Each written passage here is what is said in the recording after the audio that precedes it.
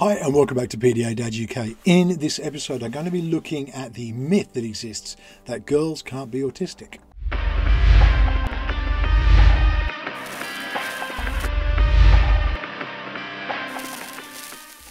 So, as I say, welcome back to PDA Dad UK. Before I go on any further, can you go hit like, hit subscribe, ring the bell? You'll always know when new content's coming up.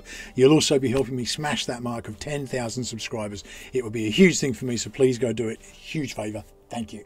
As I say in this episode, what I'm going to be looking at is the myth that exists that girls can't be autistic. Now, this is something that seems to come up and rear its head every now and again, and it's something that's come up with some conversations I've had recently with people who've been taking their kids for diagnosis, being seen by professionals. Now, when I say professionals, I can mean people in education, so people like, you know, head teachers, GPs, uh, any professional that's involved with the diagnosis process at some point. And it's something that seems to come up. Well, she's a girl, she can't be autistic, it's a boys only condition. And this is a myth that's really come from early understandings of autism. So we know now of course, girls can be autistic. Of course, that can happen. I can tell you now, my daughter's autistic, my wife's autistic, females in my life are autistic. But there's still this perception out there that really does exist that is that girls can't be autistic. Now, as I say, this goes back to early time, uh, early our early understanding of autism, if you like, when autism was first being identified, when it was first out there as something that was an actual thing, it was strongly hinted that, strongly believed that it was purely a male condition. In the last episode, you remember I talked about the puzzle piece. And part of the puzzle piece, and the reason that autistic people dislike it so much, is the early adoption from Autism Speaks of using that blue puzzle piece. The reason it was blue is because it was just believed to be a male only condition. It was a boys' condition. It only affected boys, girls weren't affected. As research and time has gone on and more is understood, it's now you know, widely understood and accepted that, of course, girls can be autistic. But there's still this myth that pervades, if you like, that it really is still only a male only condition. And that is not the case. And I wanted to look at this and explain why this isn't the case and explain why it's so damaging that it's often still used. The big problem is that girls don't fit the model. So there is a model for autism. When you go through an autism diagnosis, there's there's markers, there's tick boxes, if you like, that have to be checked that say this is what qualifies you to be autistic. Uh, when I did my course, on, I did a course online for understanding autism. It was one of the worst courses I've ever done because I disagreed with so much of it because it was so still so based on past beliefs. It really hadn't been updated to fit what current understandings of autism are and how it works, or neurodivergence in general, to be honest. It really was frustrating to be part of, and most of my answers were the written answer of what was expected, and then I give a little essay afterwards of why this is no longer correct. And this was one of them, and it was this thing that it's generally something that affects boys. Now, this triggers through to diagnosis. When you look at the diagnosis statistics, now they vary depending on what you're looking at and where you're, where you're looking at it, if you like. The, the ratio of boys to girls who are diagnosed as being autistic is about four to one. So basically, four times as many boys are being diagnosed as autistic to every girl. So it's, it's ridiculous that that, that is a statistic that's out there. Now, as as time's gone on, you know, it's difficult because pinpointing the exact figure for today is, is just so hard. That's generally the accepted sort of statistic that's out there. There are indicators that it could be as low as three to one now. So basically, for every girl, there's two boys extra that are being diagnosed. It's still a big skew in what should really be a 50-50 split but it's it's something that exists and it's down to this fitting the model because the understanding of autism is so much based on early understandings and this this belief that was there that it's a male only condition it means that a lot of the markers and the tick boxes that are used to identify if someone is autistic or is not autistic are based on the male understanding of autism. And the thing is that autism presents so differently in females, and that's really where it comes down to. The, the way a, a girl will present their autistic traits is going to be different to how a boy does because, you know, th- this is life, isn't it? We're all different and we fit into some stereotypes, we don't fit into other stereotypes to do this, we kind of have to talk in some generalizations. And I understand that there are, you know, boys, there are girls, there's you know everything in between. what I'm getting at is that generally there are presentations that are different. Now, girls tend to mask really effectively. Now, you know I've spoken a lot about masking on this channel. It's one of my big beliefs that the more we understand masking, the better life's going to be for neurodivergent people out there because if we understand that somebody's being put in a position where they're forced to mask, even if they're not aware they're doing it, it's causing ongoing issues. Now, this comes into play with the diagnosis side of things in a couple of levels. One, on actually obtaining the diagnosis, but two, on the long term effects of a lack of diagnosis. But really, what it comes down to is that boys will present generally, will present differently to how a girl will present their autistic traits. Because of masking, girls will often appear to be much more functional in social situations. Now, I hate the word functional, but it's, it's sort of the only way I can think to describe it. But basically, girls tend to mask more effectively than boys and more often than boys. Now, again, that's not saying that boys don't mask. I can give you many, many examples of boys that have masked, males that have masked, males that do mask, but there does seem to be a higher proportion of females that mask. And so this presents itself hugely in schools. So when you're going to school and you're saying, I think there's an issue, I think my, my daughter may be autistic, well, they're, they're functioning fine at school. It's not a problem. So it must be down to parenting. And then we go into parent blame and all that kind of stuff. I don't want to harp on too much about it because we've covered it in other videos. If you want to check out more about masking, please do go check them out and I'll put the links in the description for how to do that. But realistically, the fact that someone's masking means that they're repressing their natural autistic traits and there can be coping mechanisms and ways that they are regulating so that the anxieties that are often associated with autism aren't dealt with in the right way. What I mean by this is acts of stimming is a really good example. When someone's masking, they may stop themselves from stimming. That means they're not self-regulating. Stimming is something, if you want to understand more about it, again, I'll put a link in the description. I've done videos on stimming. But the, re- the reality is that 99% of stims aren't harmful to anyone. They just are different from what we would expect uh, a person to do. When we, you know, we look at a neurotypical world, I guess, and you know, if someone's rocking, it can feel, well, why are they doing that? But for that person, it's perfectly natural. It doesn't cause any harm, so why are we interfering with it? The problem I'm asking is that, particularly girls, there's a social awareness probably that's bigger. They understand I need to fit in, and so they will force themselves to do so. So things like stimming get repressed. So, where someone might be self regulating and controlling their anxiety through stimming, that's being stopped. Now, this leads to a whole host of potential issues that follow on. Because an anxiety is not being dealt with, it's being repressed, it's got to come out at some point. It's got to start displaying. And certainly, there's a big link between autism, undiagnosed in childhood, and conditions and mental health issues that can really happen down the track. So for someone who's repressing these things, it comes out. It can come out as PTSD. It can come out as bipolar disorder. When my daughter was first diagnosed, a doctor actually took us aside and was saying it's really important to, you know, focus on this stuff because there's a strong link between undiagnosed autism in girls and bipolar disorder later in life. Now, my wife is bipolar she's also autistic and she wasn't diagnosed as autistic. So it's very likely that there's a link between the fact that she's bipolar now and the autism that was present from the beginning that wasn't diagnosed or understood. Now, there's a lot of question marks around that. Is it that bipolar is being misdiagnosed when actually it's autism? I don't have the answers for that. That's something that uh, I may tackle in a future video at least raising the question and looking at the, the differences there. But the important thing is there's this, this is strong link between undiagnosed autism, especially in girls, and later mental health issues in life. So that can be depression, as I say, PTSD, emotionally unstable personality disorder, or EPD, or borderline personality disorder, as it's known over the rest of the world. For some reason, the UK has a different title for it. But all these things can lead on from the fact that there is a core issue of someone is autistic, and because it hasn't been supported in the right way, and I want to make that key point, this is about supporting people with who they are. This isn't about saying there's a problem or something wrong because they're autistic. That's not it at all. But if we understand someone has, uh, you know, traits associated with autism that they are autistic, if we understand that somebody has anxieties and we can help them to manage that and support it and, and work through it in a healthy way, it's only going to help them in the long run. It's going to help support them down the track. I think that's really important thing to, uh, you know, make the point of.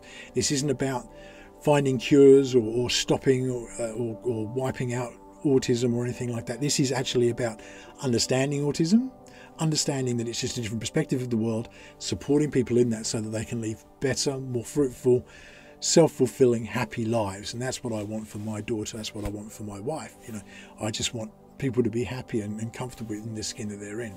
Because of the fact that girls mask so much more than boys statistically, it means that it's so often passed over. Because they're functioning in school, appear to be functioning at school, it means that diagnosis is skipped over. Now, this question really came into my, my mind as something I needed to tackle because it's come up recently with people who've been dealing with doctors and with medical professionals in part of trying to get their kids diagnosed. I was talking to one lady who said that she'd been to the GP, and the GP had literally said outright, they can't be autistic, she's a girl. Now, that's just so wrong, and we know that's wrong, but it's because this incorrect myth still exists that it's a boy's condition and it's not. Another problem that's often raised as a result of this, you know, disparity between uh, male diagnosis and female diagnosis is that girls are often misdiagnosed with other conditions. And again, it comes back to this thing because the core issue isn't being supported, it leads to problems down the track.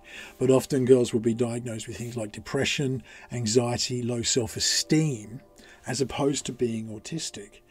Now, there's not necessarily a problem with those things being addressed because those things often do accompany the autism diagnosis. For my daughter, she presents with some depressive personality traits. There are times that she's very low. Thankfully, because we have the understanding that she is an autistic person, we can address that and understand that actually this low is a result of an underlying anxiety that's directly related to the fact that she's autistic by managing that anxiety, understanding where it comes from, we're able to work with the depression. Now, there are other things that come along with that. As, as you'll know, very often people who are diagnosed as being autistic will have what they call comorbid diagnosis. It's a horrible word.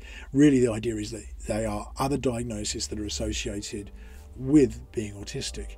So often you'll find that people are autistic with an ADHD profile, with a PDA profile. They might have sensory processing disorder. They may have a, a range of other conditions. You know, hypermobility is, is very strongly linked. All that sort of stuff comes in because it, it all sort of comes back to this core idea that, that, that autism's at the centre, if you like. But because these things present now, anxiety and autism are so closely linked, and I've talked about it many times. My very first video I ever did on this channel was about the link between autism and anxiety and understanding that. But because the anxiety is there, if someone's just being, if you're just tackling the, the anxiety, we're not tackling the root cause of it. We're not supporting the root cause. Now, I, I'm, I'm a firm believer that it's about supporting the person through what they're experiencing and helping them to manage that. As a neurotypical person, I've had to do it with certain things in my life. You know, when I've had to deal with difficulties in my childhood and bullying and stuff like that, I've had to resolve it. I've had to come to a point where I've I've resolved it. That doesn't change the fact that that stuff happened, but I had to work through managing it in my own head and how I related to others as a result. It's more challenging, probably, especially for kids. Again, I'm talking kids in general, the idea of processing that kind of stuff, it's a little beyond where most kids would be at. But if I'm able to support my daughter with her anxiety, understanding that the root cause is actually based on the fact that she's autistic and that these anxieties are related to that, once I can tackle those difficulties and things like sensory processing, my daughter is, has sensory processing disorder, being able to put her in an environment where she feels comfortable, the clothes that she likes, the bedding she likes, helps us manage that anxiety. Another one that's often misdiagnosed in that it probably is there, but it really needs to relate back to is ADHD is often what is diagnosed in girls. However, it could be that that's a co-diagnosis with autism. It could also be that it's just simply that the girl's autistic, and so the way that they are displaying their traits appears to be an ADHD profile. Again, it's a misunderstanding of the fact that there is differences between how a male will present their autism and how a female will present their autism. The biggest issue that comes all, through all this is that we end up with this question that sort of comes up, which is what's wrong then? And I, I, that in itself presents issues. There's not necessarily something wrong. There's something causing the difficulties that are being faced. For my daughter, I've talked about it. You know, we've, we've recently realised that she has PMDD. If you want to understand more about that, it's to do with menstrual cycles and stuff. But go check out. I did a video on it. But that causes more issues, a hormonal imbalance, and it make, magnifies the, the difficulties of uh, you know, the premenstrual cycle so much more for her. And there are ways that we've been able to deal with that and support that, understanding that when it's coming up, that's what we do.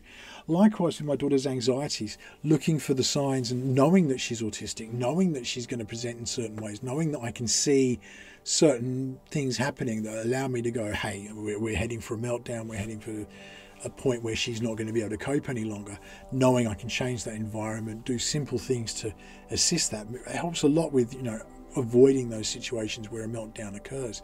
It's a really important thing to be able to do. By misdiagnosing, we are putting people through an unnecessary amount of stress.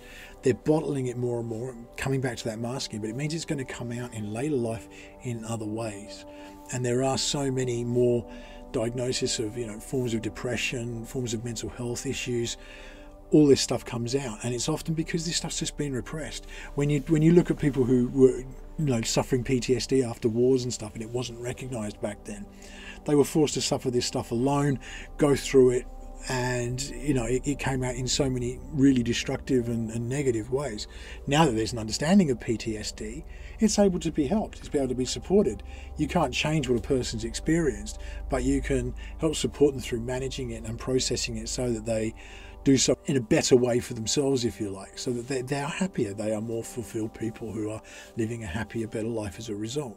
Being able to support these things early on makes such a difference to down the track to the point that now PTSD is for people in the army, they'll often go through a process of being treated for PTSD even before they've displayed in your signs because if they've seen the things that they've seen, there's an understanding that you have to be able to process it in a way that the mind can do so in a healthier way so that it doesn't lead to problems down the track. If we understand autism early, we're able to understand and you know prevent the difficulties and challenges that may come down the path. The other thing that it can really lead to, and this is something that really plays to my heart, is that often autistic girls will be bullied because they're seen as different from those around them, and yet they don't have anything that they can sort of relay back to. They don't have anything that say, "Well, I'm sorry, I'm autistic. This is just how I deal with things." And I think understanding comes with that. you know, I've found it so many times where we've been confronted with a behaviour that challenges, and I've had to explain to her, you know, I'm sorry, my, my daughter is autistic. She has a PDA profile. She struggles with this stuff sometimes. Uh, please do understand 99% of the time people are, oh, well, absolutely, and they'll, they'll be really understanding. Trouble is in the schoolyard. The trouble is that in you know the rest of the world, if you don't have something that you can relay that back to, how can you then do it? And so it leads to things like bullying, which again leads to more mental health issues down the track. As I said before, I, you know I suffered from bullying as a kid. Uh, I was really bullied and you know I still deal with the fallout from that to this day. For my daughter, I don't want her to ever have to experience that. Thankfully, she's in a school where most of the other students have a form of neurodivergence themselves, so there's a better understanding. But I see it in the rest of life. She's she's quite isolated as a result. She feels it, she knows it, she comments on it a lot that she feels this isolation, she feels different. How does she process that? At least knowing that she's autistic, it's like she, she'll say to me, "Being autistic makes it really hard for me, Dad." And I'm like, I, I do understand. And, you know, I, I, can't say any more than that in a way. It's like, I can relay my stories. I struggle with bullying and stuff like that, but it sucks. But at least I can be there and, and connect with her on that level. I find it's really helpful. And she and I do have a very positive relationship now. It's one of those things that's come across as time's gone on as my understanding's increased, she and I have become closer, partly because she recognises the effort I've gone to to to understand her and to try and support her in that. It's not changing her, it's not adjusting who she is. It's helping her to manage the, the difficulties that are there. And when she's wanting to be violent or aggressive, how can we process that differently and all that kind of stuff. And it just comes down to this thing of yeah, this is this is what you you live with. You are autistic, and the way you see the world is going to be through your autistic eyes. It's going to be through your autistic mind. Helping her to understand that and it actually helps alleviate the anxiety in her because she understands she's autistic. She can then go, oh, I'm doing this because it's part of me being autistic, and therefore, you know, there's an understanding. It, it is less to blame herself for in a way, and I think that's a really beautiful thing. It's not always the case, but it, it happens a lot. There are positives that come from that as well. My daughter is so accepting of other people and their differences. She doesn't see the world in, in the way that so many do, where everybody has a label or a, you know fits into a certain category. She's very accepting of anyone. Her best friend has two mums, and she doesn't even bat an eyelid to that. And good on her. You know that, that's not something that should be an issue. She doesn't see the world through skin color or uh, you know, gender or anything. She just sees people for people. And I think that's a really beautiful thing. And that's come because she's had to accept that she herself is different from most people out there in, in, in, in those sort of ways. And it's really helped her to become a very accepting, warm, loving person. So that's really what I wanted to say. It's one of those things that just keeps cropping up. And I think the more that we understand, the more research we do into uh, neurodivergence and, and how it affects people, the better we can be at supporting those people in the world. Girls can be autistic and it's not a problem. Boys can be autistic and it's not a problem. What's got to be understood is the differences, and the more it really it's down to the effect that it has on the individuals themselves.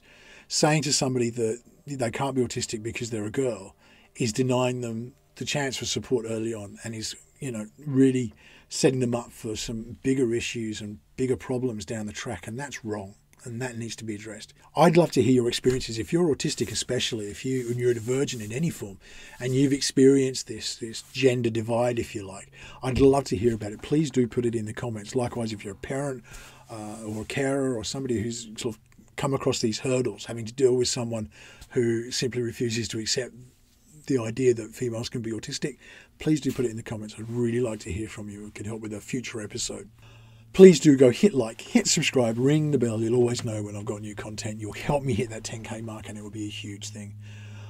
I will see you again on the next episode. In the meantime, please do stay safe.